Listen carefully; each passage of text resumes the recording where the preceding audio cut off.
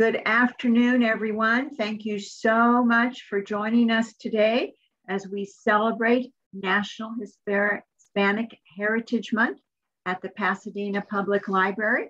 As you know, National Hispanic Heritage Month is from September the 15th to October the 15th. And today is our very um, first program, and we are delighted to be able to and listen to and have join us today Alex Espinoza. So, Alex is going to be talking about his books and his writing journey, and it's going to be a very informative and interesting um, afternoon. So, I um, want to tell you a little bit of how the afternoon is going to be set up. Um, thank you for joining. If you could please mute yourself.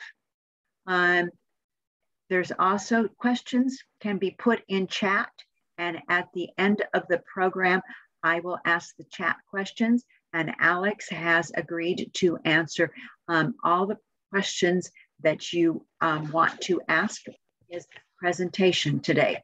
Um, we have a live transcript, so you need to um, enable that on your computer. It's on the um, screen share of all of the different icons at the bottom of your computer, or it could be at the top. It's CC Live Transcript. Also, Alex has very nicely agreed to be able to be recorded today to put on the Pasadena Public Library YouTube channel. And um, you can go to it, it'll probably up maybe tomorrow or the next day, and you can review it and share it with your friends. Um, and so we appreciate his willingness to do that for us today. So um, I want to tell you a little bit about um, the Hispanic Heritage Month.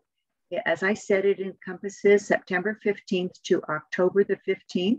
It um, is to honor the cultures and contributions of Hispanic and Latin Americans with a wide variety of events to demonstrate their culture, their history, and um, their achievements in the United States. We have a very elaborate brochure that you can pick up at all of our branches. You can also see this brochure online under Pasadena Public Library on our webpage. It is in English and it is in Spanish. Um, our programs this year include programs for families, crafts, takes and makes, where you are actually exposed to um, different Hispanic crafts programs for children, such as story times for teens, authors and the journey series that Alex is participating in today, and um, beyond the book, book discussion groups for um, book group members at our different branches, and anyone can join those, um, and a film series. So please um, go to our Pasadena Public Library website and look at our brochures uh, our brochure in English and in Spanish and select what you would like to join. You can come to all of them and or none, but we hope you will come to several of them and at least watch them on YouTube if the times do not work out for you. Um, we have art night this year on Friday, October the 8th, and that will be um, Hispanic Heritage Month activities as well, and that is virtual. So thank you so much for participating today. Um, we are featuring one of Alex's books, but he has written several books and he will be talking about them. But today's book is Still Water Saints, and we have it in the Pasadena Public Library for you to check out and enjoy. So let me tell you a little bit about Alex. Um, he was born in Tijuana, Mexico, to parents from the state of Michoacan. Now, I'm not sure that I am saying that correctly. Um, to parent and was raised in suburban Los Angeles. He holds a BA in creative writing from the University of California, Riverside, and a master's in fine arts from UC Irvine's program in writing. His first novel, Still Water Saints, was published by Random House in 2007 and was named a Barnes & Noble Discover Great New Writers selection. The book was released simultaneously in Spanish, under the title Los Santos de Agua Mansa, California, translated by Lillian Valenzuela. His second novel, The Five Acts of Diego Leon, was also published by Random House in March 2013. His fiction has appeared in several anthologies and journals, including Inlandia, a literary journey through California's inland empire, the Southern California Review. His essays have been published at the salon.com, in the New York Times Magazine, in the Other Latino, at Writing Against a Singular Identity, in the Los Angeles Review of Books, Los Angeles Magazine, as part of the historic Chicano chapbook series. He's also reviewed books for LA Times, the American Book Review, the Los Angeles Review of Books, and NPR.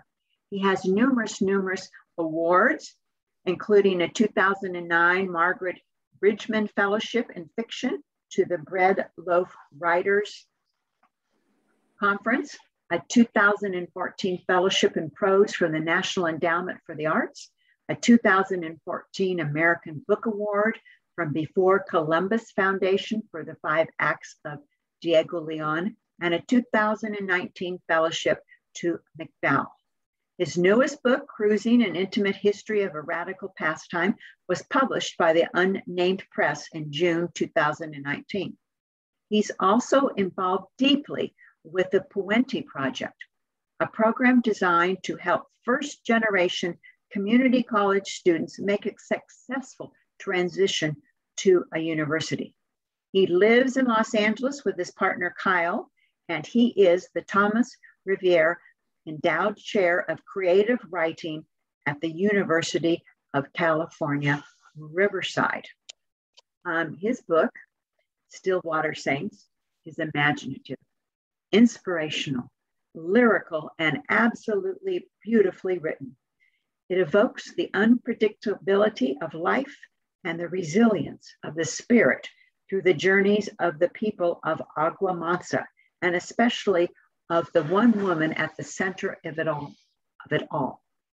Their stories of faith and betrayal, love and loss, the bonds of family and community, and the constancy of change. Um, you probably all know the author Lisa See She said that it's fresh, magical, beautiful, and evocative.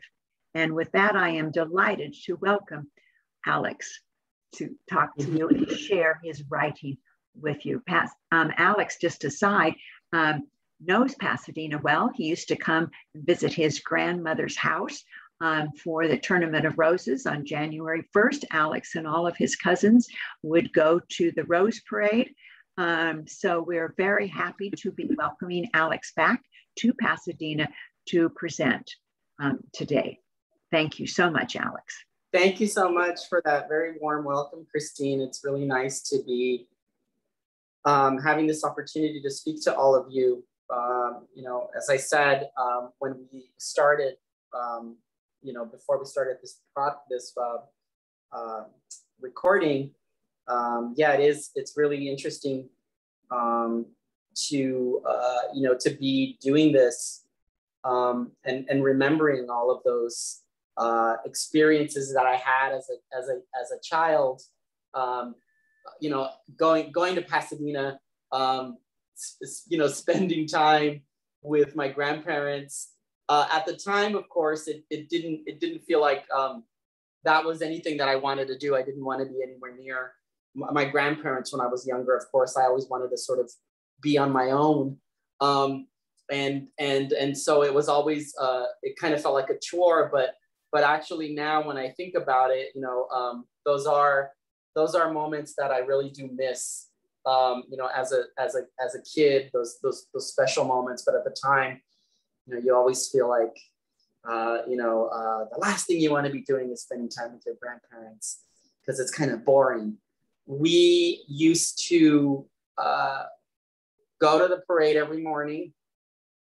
We'd spend the night on December 31st and go to the parade on January 1st every morning, uh, waking up really early and um, staking out a spot there on Colorado Boulevard and uh, watching the parade and then going home to my grandparents' house, you know, having a big dinner, a big, big breakfast, big lunch, and then heading home.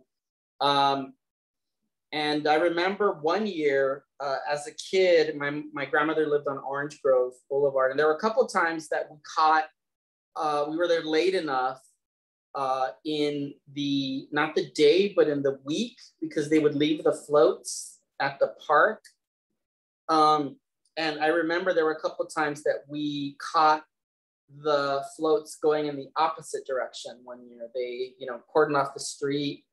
And I remember they would drive them across my grandmother's house in front, in the front yard, through the front on, on Orange Grove Boulevard, going in the opposite direction. So it was always like we saw the floats coming down and they were full of people and they were waving and, uh, and then we would see them when they were going back and that was when they were empty and no one was on there waving and there weren't horses or, or, or uh, marching bands. Um, and so, yeah, Pasadena has always featured really, really um, big in my imagination. And um, I used to work on Colorado Boulevard. Also, I sold furniture at uh, a furniture store on uh, in Old Town when when Old Town was just starting out. Um, this was in the mid '90s when it was sort of the place to go to when everyone discovered, you know, that there were these really old, amazing buildings and they were all converted to, you know, bookstores and coffee shops and lofts and, and really, uh, you know, uh, really cool shops. And I worked at one of those. So it's really a, a pleasure to be um, having this opportunity to talk with you and to talk with everybody that's affiliated with the library um, during this important month. Um, and, and also to to you know to say that libraries are a writer's you know librarians are a writer's best friend really. When we're doing research and when we're doing all the important work that um, goes into a book that that you can't see when you have it like this it, we, we get a lot of information necessary information from our librarians who really do know uh, how to point us in the right direction and so, you know, a librarian is a writer's best friend, and, and a library is a place that a writer always wants to be. Um, so it's a real thrill to be here and I have this opportunity to talk with all of you. I am currently not at my home in Los Angeles. I am out in the desert. I am in Palm Springs right now. I'm actually in Desert Hot Springs, and I am spending a little bit of time. I'll be spending the next couple of days um, at a resort spa because it's been a very challenging year and a half for two years for a lot of us. And um, I need some, some, some rest and relaxation. Um, but, um, you know, it's, it's, I'm happy to talk with all of you and, and to read um, from my first book. Um, i will read just a couple of short sections. And um, Christine, I think we said it's maybe y'all want me to end at like five, maybe 5.30 and do questions. Does that sound about right? Okay. Okay.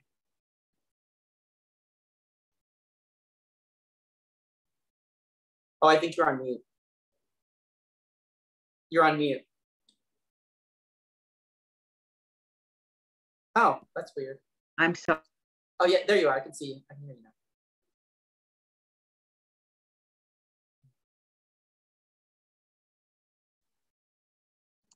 We'll have time for questions. Sorry, she's still uh, oh, oh. muted. I'm still. Oh. oh, you're not muted now. Oh, wait, you are. Can you hear me now? Okay, put your questions in chat, please. Alex is going to answer every every question we have. So okay. thank you very much. I don't know. I hope something's not happening with my Zoom. You sound fine now. So, so should I end at about 5.30? My, my 5.30, 5.40, that'll be fine. Thank okay. you. Okay. All right. That sounds great. So, I, you know, I'm going to, you know, I started, uh, you know, my first book um, is this one, Stillwater Saints. And I started this book um, when I was an undergrad at, at, at UC Riverside at the institution that I now teach. And, um, you know, at the time I was working uh, at the mall. I was working retail. I was in my late 20s. This was after I finished working in Pasadena. And uh, I was in my late 20s. I had moved back home um, to pursue a, a degree in writing because I had this crazy idea that I wanted to be a writer. And I um, moved back home and, and applied to UC Riverside and I got in and I declared a creative writing major and I had no idea what I was doing. I had absolutely no idea. I just, people would always tell me that I was a great writer and that I should really, I had a gift. Um, and I, but I didn't know what that meant. And so I, the first class I took was a beginning fiction writing class with um, uh, my professor, then professor, now colleague, uh, Susan Straight. And um, Susan really sort of took a liking to what I was doing and what I was writing and really encouraged me to, to continue to pursue it. And I, um, you know, I didn't really have any um, role models around me. I didn't really know what I was doing.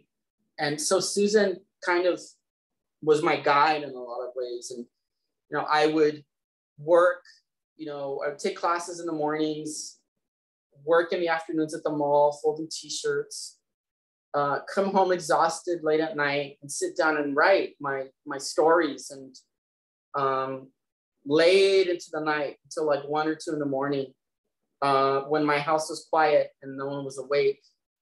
And I started this book in that way. Um, and it actually became um, a uh, sort of, I didn't want to write a novel. I was afraid of that word novel. Um, the word novel sounded really uh, daunting and, and, big and um, intimidating. And so um, Susan, one of the things that you have to do when you're a creative writing major at UC Riverside is do what's called a senior thesis. You have to work on this sort of, it's a, a sort of, I think it's like 50 pages of kind of a larger, you know, thing uh, before you graduate. And Susan would always say, well, you know, the minute people sort of, students start, you know, looking at senior thesis, they want to start writing a novel. And I was petrified of that word. And I thought, well, I don't want to write something that that big. So maybe I'll work on like stories, chunks. I'll take these little sections um, and, and work on that. And that's really how this book began. It started with um, visits to a shop that was near my mother's house called the Botanica. And for those of you that don't know what a Botanica is, um, there are shops that are found mainly in, in, in um, in communities that are largely Latino. And um, there's shops where you can go and get herbs and, and teas and candles and all kinds of kind of folk remedies. And um, uh, I started visiting this shop a lot just because I was really kind of fascinated by the uh, textual elements of them, the smells and the sights and the sounds and, you know, um, and so I got it in my head that I wanted to write a series of stories that focused on some of the characters, the customers that come into the shop. And that's kind of how this book began. And it sort of started as this, um, uh, these cycles of, of tales of individuals who, who would go into this shop and who would um, uh, procure items and, and meet the woman that runs the shop. And she's an older woman in her 70s named Perla. And is kind of the glue that holds uh, the community together. And um, that's kind of how it started. And it began as kind of a, um, a uh, uh, an experiment in a lot of ways on my end, a, a way to uh, write about a community without really sort of taking uh, a chunk out of this um, this idea of writing a novel, and um, I kept writing it and writing it and writing it. And then when I got to graduate school, I when I applied to graduate programs, I got into the writing program at UC Irvine. I was very lucky. It's a really fantastic program. And they said, "Well, what do you want to work on?" And I said, "Well, I've got this book, you know, um, this idea." And they said, "Well, that sounds like a great idea." So they gave me, you know, more thumbs up. And I said, "Okay, keep working on it." And that's kind of what I did. And that's kind of how the book, you know, happened. And um, the book focuses on the residents of a, a fictional community called Agua Mansa um, in Southern California. And um, so you have some of the some of the characters are, are customers of Perlas who come into the shop or who encounter her in one way or another. And then sort of threaded throughout the book is Perla's own narrative. And it's a, a kind of a year in her life where she is dealing with a little bit of a, a crisis of faith in that she's looking around and she's realizing that the community that she um, had so um, faithfully served for so many years has changed. Become something else, and she doesn't really know whether she fits in that new version of it anymore. Um, and and so she she sort of, in addition to that, um, a young man comes into the shop who um, presents Perla with um, a situation that she really isn't equipped to handle.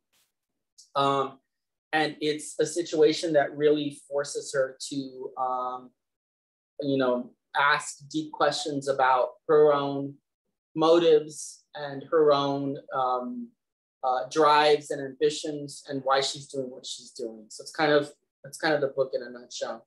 Um, this I'm going to read you um, two of I'm going to read you a, a couple of Perla's sections, um, and they're short. Um, this first section takes place at the very beginning of the book, and it's when Perla's closing her shop, and she lives close to the Botanica. Um, and I think that's all you need to know. Yeah. The iron security guard, gate, the iron security gate unfolded like the bellows of an accordion as Perla pulled it along the rail in front of the door. She snapped the padlock shut, turned around the corner of the building, and headed home. Her house was close, just across the empty lot next to the shopping center. Wild sage and scrub grew beside the worn path that cut through the field. Boys sometimes rode their bikes there, doing tricks and wheelies as they bumped over mounds and breaks, falling down, laughing and scraping their knees, their faces coated with grime. Their tires left thin tracks that looped around the salt cedar trees, around the soiled mattresses and old washers and sinks that were dumped here. People told of a curse on these grounds of a group of monks traveling through Agua Mansa in the days when California was still a part of Mexico, back before states were shapes on a map. They said a tribe of Indians had massacred the monks. They skinned them and scattered their body parts around the lot for the crows. Still others said Mexican settlers had been lynched from the branches of the cedars by Anglos who stole their land for the railroads. Seeing a piece of stone, Perla wondered about the monks and those men dangling from branches, a tooth, part of a toe. Empty soda cans and wrappers were caught under boulders and discarded car parts. What would the monks think about having a tire for a headstone, a couch for a marker? She thought about her husband, Guillermo, of his tombstone, of the thick green lawns of the cemetery where he was buried, when she reached her house and stepped inside, the air was warm and silent. She put her purse down on the rocking chair near the front door and went around, pushing the lace curtains back and cracking open the windows. She breathed in the scent of wood smoke from someone's fireplace down the street, a smell that reminded her of her father toasting garbanzo beans when she was little. She went into the kitchen and looked for something to eat, but there was nothing. Dinner was a bowl of instant oatmeal with two slices of dried toast, which she took out to the patio. The night was cold, and the steam from the oatmeal rose up and fogged her glasses as she spooned it in her mouth. Police sirens wailed down the street, and dogs answered, their cries lonely and beautiful. She looked up and in the flashing light saw a set of glowing red eyes. Perla flicked on the porch light. It was an opossum its fur dingy and gray, the tips and insides of its ears bright pink. It stood motionless behind the trunk of the organ pipe cactus, staring at her. It climbed to the top of the fence, making a low, faint jingle as it moved. Perla looked again. A small brass bell was tied to a piece of red yarn knotted around the opossum's tail. She took her spoon and threw it, and when it hit the bottom of the fence, the animal darted, the clatter of the bell frantic. The opossum disappeared behind the branches of the avocado tree and down the other side of the fence into the empty lot, the ringing growing fainter and fainter. From under the kitchen sink, behind a pile of cloths and old sponges she could never bring herself to throw away, was a bottle of rum. She poured some into a cup and took a drink, then another, and the warmth calmed her nerves. She imagined the ghosts of the dead monks and the lynched men rising up from the ground, awakened by her thoughts. Curls of gray smoke at first, they slowly took human form. They walked in a straight line, one in front of the other, a slow procession following the apostles' tracks through the lot and back home. She took another drink and closed her eyes. That animal, it was a messenger. It was letting her know something was out there. It was coming. She sat down and waited for it. Um, so that's kind of Perla's uh, an intro to Perla. Um, and kind of what I was trying to do there in that scene is kind of set up this idea that um, what's to come is something ominous, right? That um, she's about to experience a life-changing event. Uh, that's usually in in um, in uh, Native American and and and um, pre-Columbian mythology and lore. Uh, opossums are seen as kind of tricksters, as um, as media intermediaries between the world of the living and the world of the dead.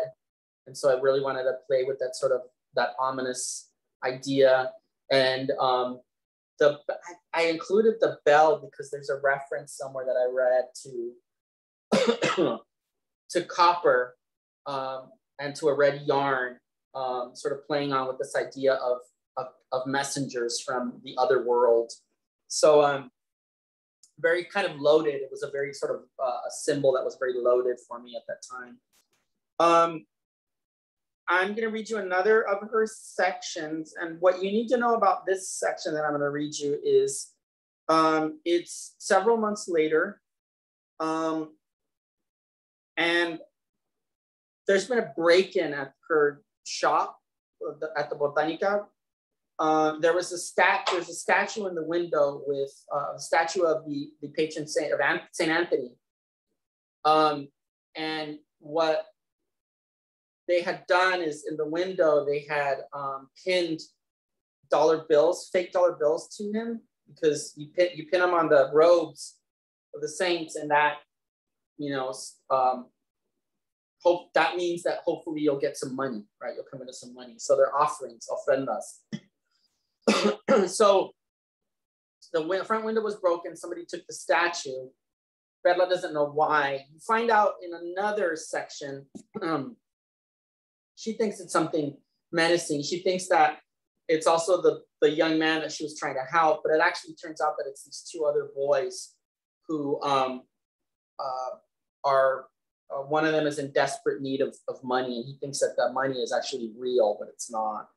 And, um, and so Perla thinks that it's something bad or um, this other young man that she's been trying to help um, who ran away, um, who has come back. So she really doesn't know what to make of it. Um, and next to the Botanica was a 99 cent store, but that's closed. And um, a new shop has moved in. The dollar bills pinned to the statue's robe weren't even real. It was play money from a game for children. The notes were green with fuzzy letters and numbers printed on fluorescent paper. Anyone standing in front of the display window that faced the parking lot could see that it was fake. The statue had always been there. The man who'd owned it before had placed the offerings to St. Anthony's robe. Take it out if you want, said, the day he left for good. The window's due for a change anyway. But Perla had decided to leave him there, even though the statue's robe was fading, the soft velvet so worn away that white netting be seen in spots along the back.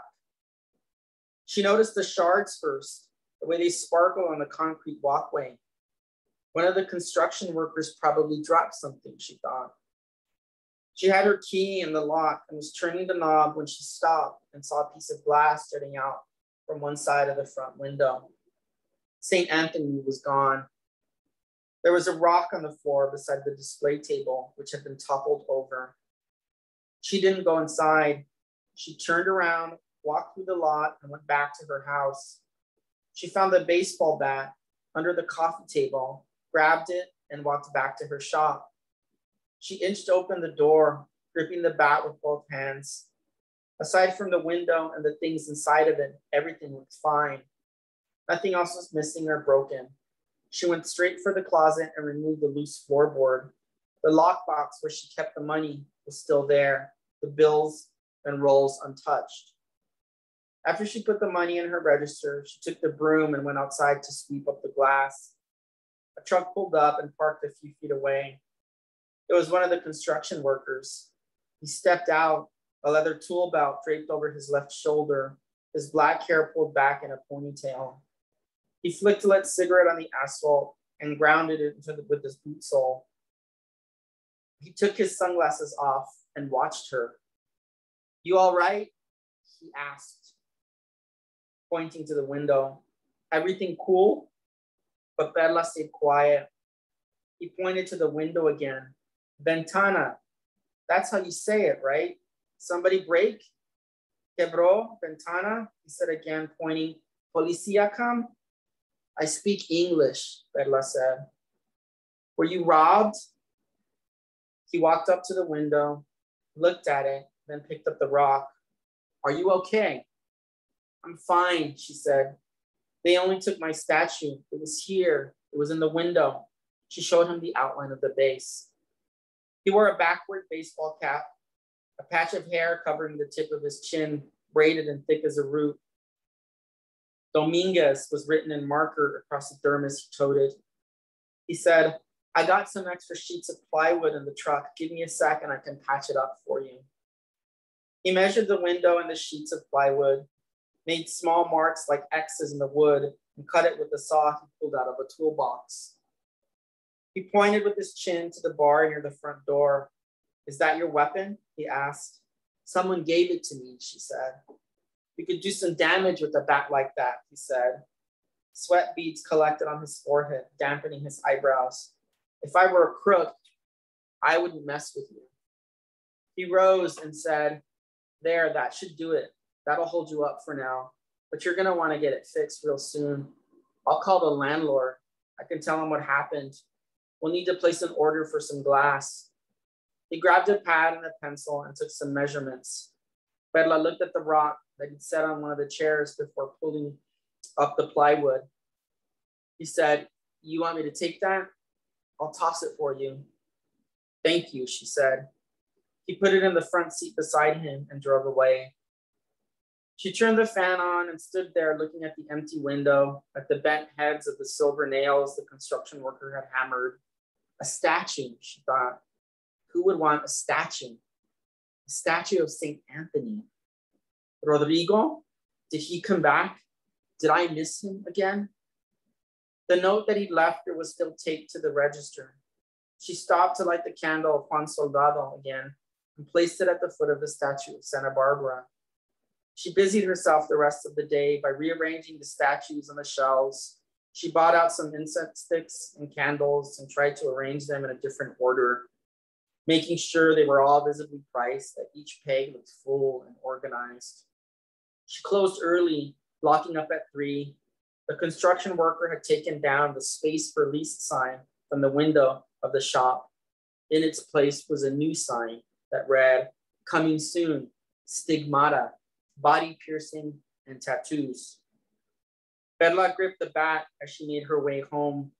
She tried not to think about any of it the 99 cent store closing down, the young boy Rodrigo running away, the mysterious note he left, if he would ever come back or not, the rock, that missing statue.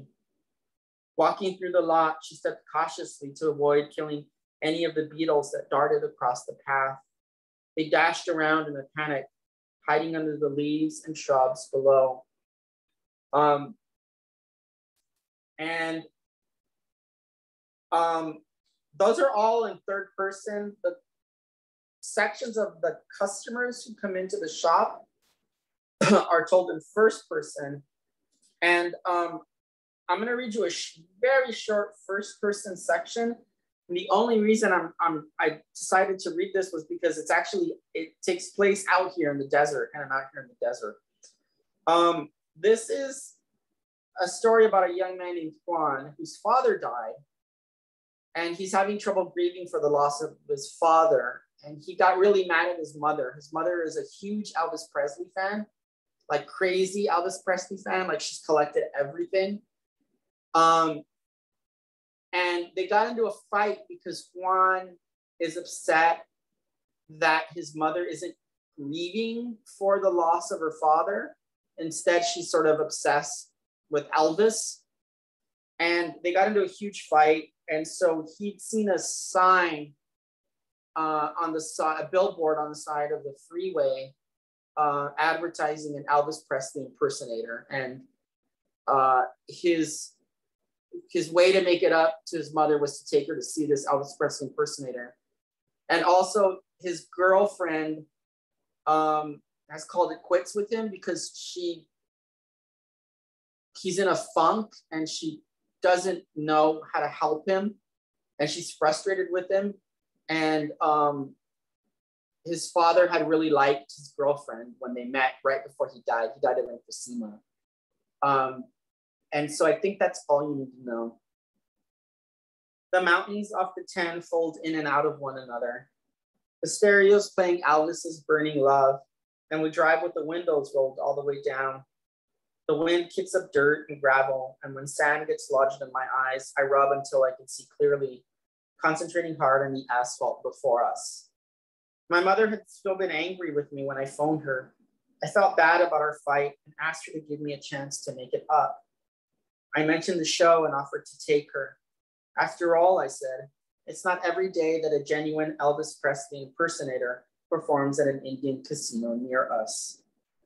My girlfriend Deborah called me earlier today saying she was coming over to pick up her things. And I try hard to forget about it. Forget that when I get back to the apartment later tonight, she'll be there walking out of my life. At the casino, we sit next to a woman in leather sandals named Nora, who tells us the impersonator we're about to see is really a man named Denny Jenks from Modesto, California. She's attended at least 20 of his performances, and she swears he's by far the best around. Nora tells my mother she's been to Graceland and visited Elvis's tomb. Hearing this, my mother smiles, and Nora takes her hand. No words, Nora says. No words to describe it, honey. There are candles lit at each table, and groups of people sit at attention waiting for the show to start. The disco globe above the room spins, casting specks of light across the dark walls. A woman up front faints before the music even begins. Still holding hands, Nora and my mother rise in unison. They stand on their chairs, wave bar napkins, and crane their necks, looking past the rows of tables and benches, past the heads and through the mist of the figure in a powder blue jumpsuit who's just walked on stage. The spotlight falls on him, my mother and Nora scream and their faces turn red. They throw their heads back and fan themselves with the napkins they're holding. Now, here's my mother, Evelyn. She's just lost her husband to emphysema. Evelyn considers herself to be Elvis Presley's number one fan. She owns all of his movies and she likes to play his records every night. Evelyn has a scrapbook with clippings she began collecting years ago when she was a girl in Mexico. It's something she's proud of and remembers taking to, to school one day, showing it to her friends. She didn't allow them to touch the pages. She turned them herself, smoothing out the creases and bubbles on the clippings with her palms. Standing on a chair in an Indian casino, Evelyn's clutching the hand of a woman she's just met.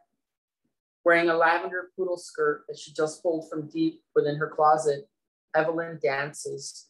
Her skirt fans out, exposing the ruffled slip underneath. She wears a pair of black and white saddle shoes with bobby socks rolled all the way down to her ankles and an Angora sweater with a furry collar. The two women close their eyes and dance, and with each step, with each steady rocking of the hips, they give themselves over, releasing part of themselves, taking something new in. Later that night, walking through the door of my apartment, I find Deborah in the bedroom. Her clothes are folded and arranged in small, neat piles on the bed. Her blow dryer and alarm clock are on the floor, and her high heels and tennis shoes, her socks and her nylons. My father's gold lighter taps against the loose change in my pocket, and in it I hear his voice. I feel him in the night air around us. Vida, he'd said. That girl, she's got vida. She's got life. He says over and over again, his voice so loud in my head now, so clear.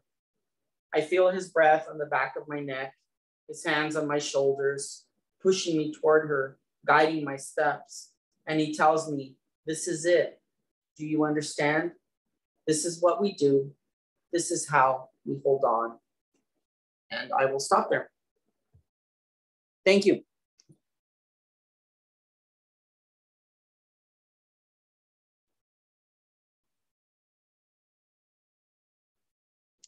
Christine, unmute yourself.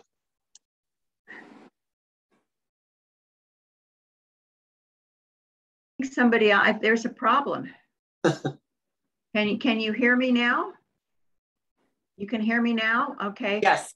Just so that you all know, um, my participants were it lists the participants. Everything is in double letters. Um, the live caption has gone off and on. So I apologize. I think something's happening maybe with my Zoom.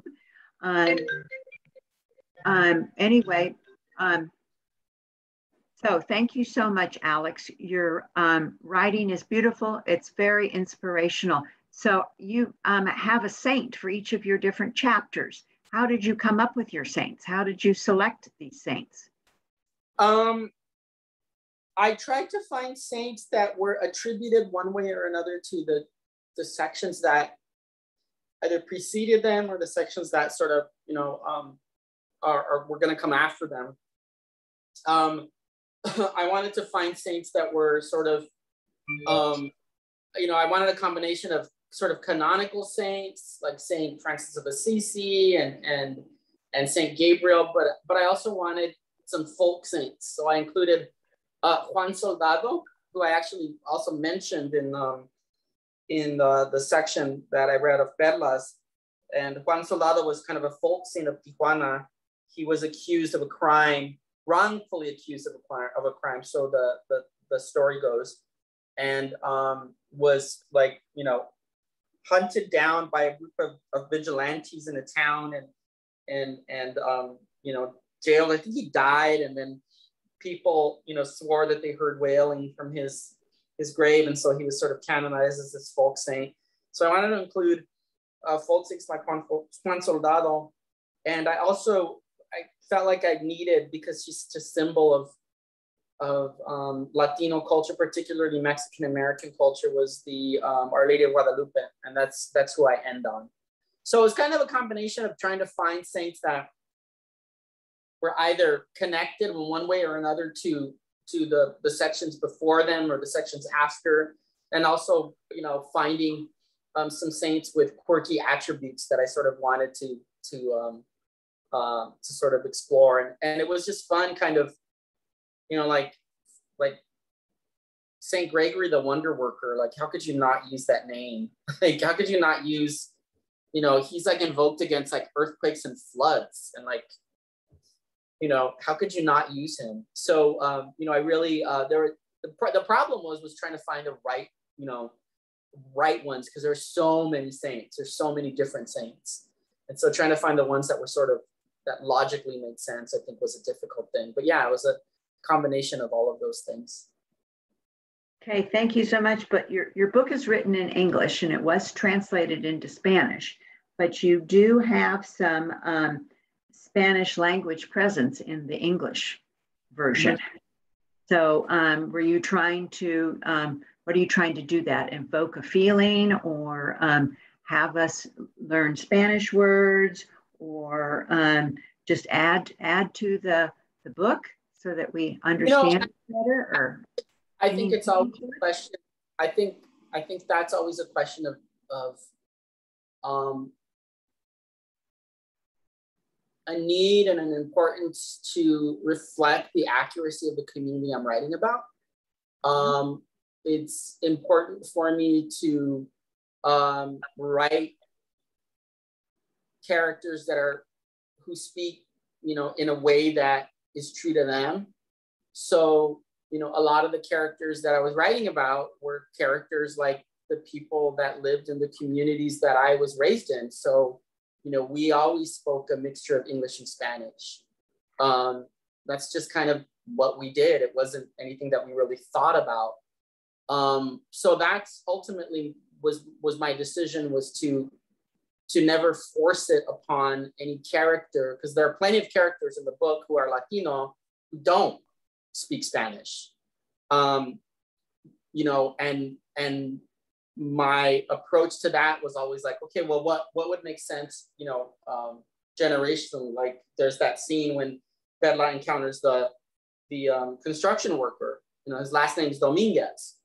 He, you know, he barely speaks Spanish. He thinks she does, and she doesn't. You know, um, well, she does, but but um, but her primary her primary language is, is English. Um, and then I have another character who is much older, an older Mexican man who only speaks Spanish. Um, so I think I always I always have to ask myself, you know, who am I writing generationally? What situation do I have them in? And would it make sense for them to speak English or Spanish? And that's kind of how I make that decision. Um, and and yeah, and it's always just a question of of putting words into the lived experiences and realities of characters so that it makes sense to those characters, right? Uh, and and ultimately that because that's what the aim of a writer is is to write characters that are breathable, um, that are complex, um, that kind of challenge our perception of things. So yeah. Okay, thank you very much. So you talked about um, writing this book when you would come home from working. Now, have you did you do the same thing when you wrote the book, The Five Acts of Diego Leon? Or and are you working on another book? Are you still you're working still, and so you're carving out time to write early in the morning, late at night, or when it comes to you? Well, I've gotten since I've gotten older, it's harder to stay up until you know one in the morning and not wake up the next day feeling absolutely groggy and crappy. So um, I don't really do that anymore. I don't really write until late at night. Um, when I wrote my second book, you know, I was in a very different uh, place. I had just moved up to the Central Valley. I was away from home. My mother had died. Um, and I kind of felt almost this um, desperation to to finish, you know, writing this that book. And that was a very different book. It was, you know, presented other challenges. It was, it was a historical novel. And historical novels are always hard to write. Um, and it was my first tenure track job. And I, you know, I was an assistant professor and I had committee work and meetings and teaching and, and, you know, I was in Fresno and it was really hot and, you know, uh, I didn't know anyone. And um, so it was a really different place. And I think I, what I, how I wrote then was I just, I wrote when I, when I had time, I wrote when I had a, a moment, you know, a crack in time. Um, you know, my my third book, which is a nonfiction book, um, I was moving down back down to LA, and I was in the middle of buying a house. Um, I had, you know, changed schools, and I was sort of. It was a really crazy time. It was a really absolutely bonkers, horrible, inconvenient time to write a book but the opportunity presented itself and I wrote it, and it was it turned out actually to be a very good book. Um, and you know, it was almost like that the craziness, you know, um, helped really sort of fuel my my my um, inspiration. Um, so you know, oftentimes when, when writers say like, oh, you know, if I only had time, I need so much time in the day. Sometimes it's the opposite. The more time you have, um, the less you know, at least for me, the more time I have, the less writing I get done. Um, and you know, now I find that I'm, I'm really like I I have no real set time. um, in the day as but my my aim is always always always to write every day to write at least an hour a day. Um you know my just my doctor's always you know telling me you know if you can at least walk an hour a day like that that's you know do you know what that would do for your i have like high cholesterol so it's always like an hour a day like you'll you have no idea what it'll do to lower your cholesterol so I'm like, okay, I'm going to walk at least an hour a day, right? Which is what I do. And that's a that's the same approach that I take with my writing. If I can write at least an hour a day, then you know that then I'm, I feel good. If I do more, then great. So I always try to keep that in perspective. So that's what I do now is I just I write at least an hour a day. If I take a day or two off, I didn't write today. You know, um, I didn't walk today either because I'm at the spa. I'm going to take the next couple of days off. but that's because I've I've been so busy the last couple of days, just writing and revising and exercising that, you know, these next four days, I'm like, well, you know, I can deserve to kind of, you know, I give myself a break a little bit. It's important to give yourself breaks also. So, you know, I think each book that you write, um, your process of writing it changes a little bit because you as a person change, right? So, you know, the process is never the same for me.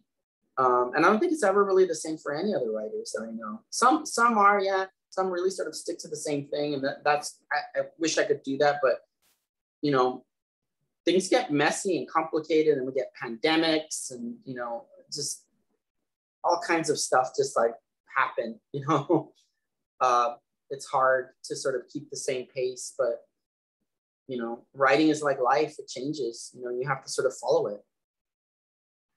Thank you for, yes, writing changes, life changes, and we move on. So um, if you have any questions, everyone that is attending, please put them in the chat. And I know Alex will answer your questions. So um, what, are you working on something new now? That I am. I'm working on a new novel, and the novel is about a family um, a family in contemporary Los Angeles who are um, experiencing um, deep and profound loss and, and having to navigate through some of that. Um, it's told from the perspective of three men in the family. Um, there's the, the grandfather, uh, the, the, his son, and then the, his grandson. And they each tell a different um, story about ex- their experiences growing up as men in our culture and the way in which oftentimes in um, you know our current sort of reality um, the male body of color um, is oftentimes called to perform a lot of manual labor uh, and what that manual labor does to our bodies um, how it mangles our bodies, how it distorts our bodies, how it pulls and stretches and augments our bodies. So um, it's really kind of a meditation on, on this idea of masculinity and this notion of the, the, the brown, the immigrant body as a body, as a spectacle, as a body that is one that is um, pulled and, and tugged and, and almost tortured um, just to survive in um, you know, uh, a world uh, like ours. So um, each each character in that book deals with um, uh, issues of of labor uh, and their body being sort of pulled and stretched and tempered in different ways. Um, so yeah, so I've been having a lot of fun, but also you know, um, it writing is hard because you do have to face a lot of hard truths sometimes. You're writing things that are not pleasant. Um, and you know it really kind of forces you sometimes to think like what the hell am i doing this for? It's not very happy stuff you know but we do it so. So each of your stories are very different. Um, are do you set out to explore a different um, idea each time and, and find different um, people to put into the story or are these things that are coming from your past or from your families or that you've dreamt or read yes. about all of that. oh, all of that, all of that, all of that put no, together. I think, I think it is. I think it's all of that. I think it's all of that. It's not. I really can't say it's it's it's you know one or the other. I think it's all of it. You you know, I I sometimes I start with a a character, and I saw that there was a question in the chat about what inspires me. Um, I I think that you know it's sometimes I start with a, a character, a voice comes to me, a line, you know, um, that an, an utter, you know, something that someone might say. Um, sometimes it's it's an idea, a thought. Um, sometimes it's um, a something I've noticed, you know, that's happened to me, like you know, as a you know a male, you know, Latino, um, you know, with a disability and, and, and gay, like some of the things that I've had to face, you know, um, it, it comes from, you know, family experiences or conversations. So I think a writer pulls from multiple sources, right? We're sort of like grasping at these little threads of smoke that are sort of swirling around us. And that's, we create story around that. Um, and and we we hope to we hope to inspire people. We hope to um, you know break their heart and and then heal it at the same time. You know, with our words. Um, and yeah, and and sometimes it means sometimes that means confronting some really hard truths. You know, sometimes it, it means putting characters in situations that are really kind of bleak. Um, but knowing that you know just as in life it's those moments of of fear and darkness where we learn the most profound truths about ourselves right it's not when things are great and happy um, although those are really good moments but it's when those moments that we're being challenged that we really learn like what we're made of right and it's no different when you're writing a character because a character has to be like a real life person so yeah all of that inspires me other books I've read inspire me. You know, other writers inspire me. You know, I read something, I'm like, I want to, you know, I want to write like that, or I want to try that. You know, um, that you know, the stuff that my friends write inspires me. So, yeah, a writer always has to be sort of on. We always have to be looking. You know, because you never know what you're gonna, you never know what you're gonna miss. So, um, what is your favorite book, or what was your first book that turned you on to reading and writing as a child? I used to love as a kid those those choose your own adventure books. I loved those choose your own adventure books. Um, I loved um, oh I loved like ghost stories, like like scary kind of you know like like those goosebumps and like all those like really scary haunted house stories.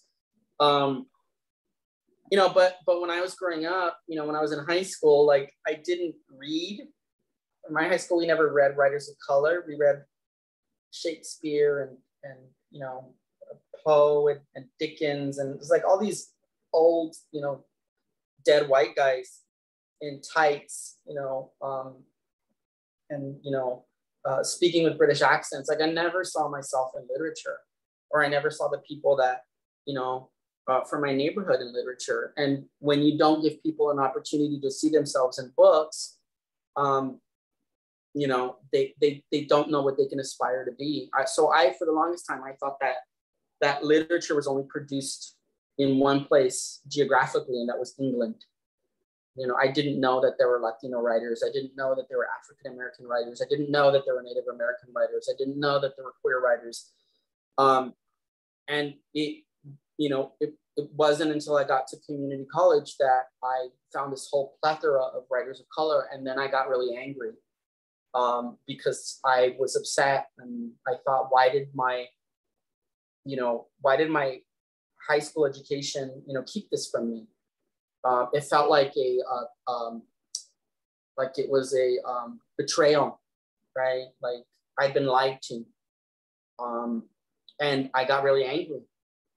And, um, but, you know, I, as a kid, like I, I just, I mean, it was like, you know, choose your own adventure, ghost stories, a lot of. Um, I remember reading as a kid in elementary school Are You There, God? It's Me, Margaret. And all the girls in my class got angry at me because it was a book, you know, about girls and it, it dealt with certain things. And um, they all got upset and told my teacher, or my our elementary school teacher, you shouldn't be reading that book because you know it's a book for girls. And my teacher said, well, no, like you know, actually, if he's a boy and he's interested in reading it, it's important that he, you know, has access to it. And, and that was when I first realized that there was power, that books contained knowledge that was powerful, right? That there was like something just profound in a book that all of the girls in my class would not want me like unmask it together and go and we were like in fourth fifth grade i mean they were young and they would go to you know they went to mrs Renicky and they said don't let him read that book because he's a boy and she said no i think it's okay that he reads it like i think that's cool like you know it, it showed me that there was power i think in literature at that moment and I didn't put two and two together at that time, but but when I look back now, as I realized like that was probably a moment when I realized like I, I think this is something that I want to learn how to do. You know, I want to I want to learn how to create powerful things like this that get people like upset and talking and you know question and all of that. So yeah. Well, thank you very much, Alex. You have created some absolutely wonderful books, books that have all have given us reason to think and explore and ex- think and explore for ourselves and new ideas and to grow. And we thank you very much for sharing your journey with us so that we can um, increase our own journey and learn new things. So uh, it's been a most interesting afternoon with you. Thank you so much. So I want to remind everyone that we have Alex's books in the Pasadena Public Library. You can check them out from the library and you can also purchase your own copies um, if you want to have them from Vroman's bookstore.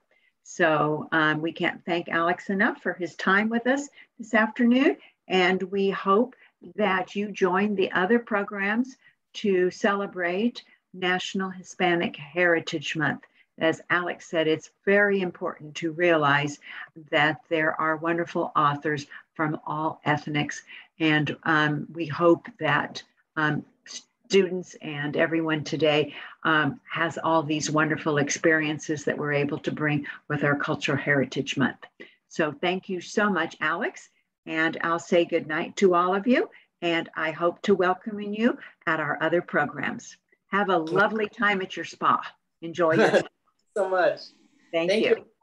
Bye. Bye.